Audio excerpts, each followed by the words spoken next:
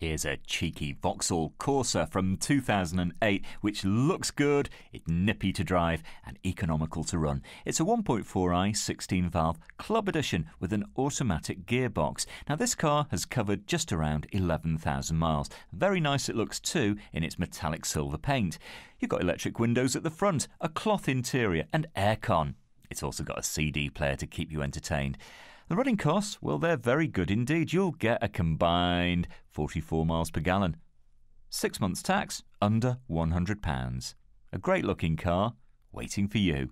At Fords of Winsford.